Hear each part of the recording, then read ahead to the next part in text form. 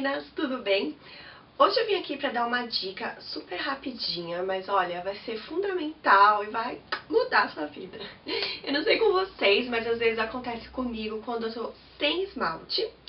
É, sabe, eu passo um, dois dias, às vezes até pra respirar, né? A unha, tal, a cutícula é bom pra respirar, ficar sem esmalte. Então, depois disso, uns dois, três dias, às vezes acontece da unha lascar. Então, assim, não é que ela quebra, ela lasca. E aí, se você for passar esmalte, fica tipo uma escadinha, sabe? Então, é muito chato quando isso acontece. E aí, o que, que você pensa? Fala, nossa, e agora? Eu vou ter que deixar crescer, eu vou ter que cortar, às vezes tá comprida. Mas eu vou mostrar pra vocês, então, o que, que eu faço quando a minha unha tá lascada. Espero que vocês gostem dessa dica, hein? Eu usei essa lixa da Belize, que é aquela lixa para polir unha, sabe? Então fica, a superfície fica bem lisinha com ela.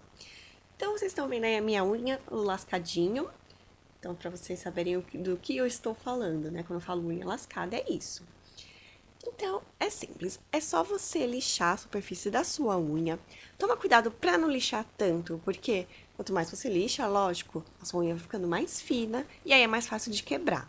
Talvez suba uma lasquinha depois de lixar e ela vai estar tá bem fininha mesmo, dá pra você arrancar com a própria mão ou com um alicate, tá? E agora você vai lixar mais um pouquinho até sentir que está bom, que já está uma superfície lisa.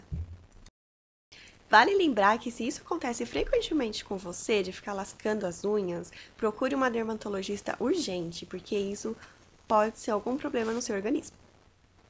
E mais uma dica é, depois de você lixar, passar uma base assim, de tratamento, como essa da Colorama, que é pro nivelamento. Então eu vou passar ela, ela vai ajudar a minha unha a se recuperar, né? Porque eu acabei lixando, ficou um pouco mais fina. E também vai evitar que fiquem ondulações ou que lasque a unha, tá? Então é isso, não se esqueça de dar um curtir nesse vídeo se você gostou dessa dica, compartilha com as amigas. Beijo e até a próxima!